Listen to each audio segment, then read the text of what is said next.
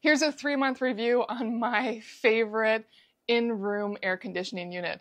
This thing has been so wonderful for us. We live in an attic bedroom. We actually moved into another attic bedroom that also has insufficient AC, and this helps me sleep at night.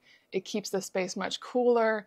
It is not as powerful as a full AC system, understandably, but it is whisper quiet and I really, really enjoyed it. Let me show you a couple things I've learned about it over the last three months. Now, I normally stop the oscillation when I'm sleeping because I just want it aimed at me, and it's such a nice low breeze that it just feels really nice while I'm sleeping. Now, it has a variety of fan speeds. In the evening, I'll usually have it at one and in sleep mode, so it's super quiet. And in the daytime, I'll turn it on a little louder and move it up.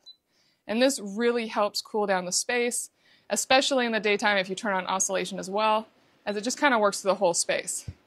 Now the next trick with it is that right now it is just a fan.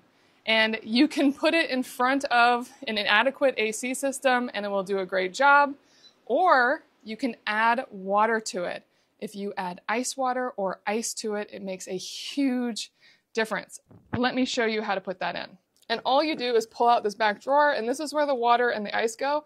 The one thing I have noticed is it does get a little yellowed in there, so you do need to clean this out from time to time. But all I do is I make sure it's clean in there, and then I fill it with water. And I don't normally fill it all the way for the same reason, because the water can get kind of dirty. I don't want a ton of water in it, I just want enough for the day.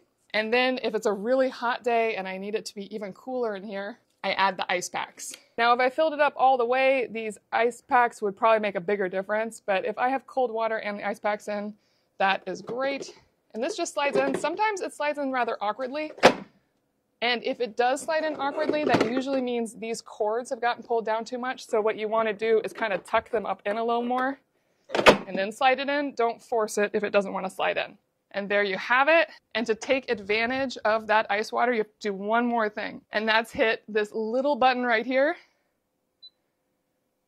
And that will pull from the water tank and it'll send a little of that cool water through the fan. And it really, really makes a difference almost immediately. I can feel that it is cooler. I highly recommend this AC unit. It has made such a difference for me, and I know it will for you as well.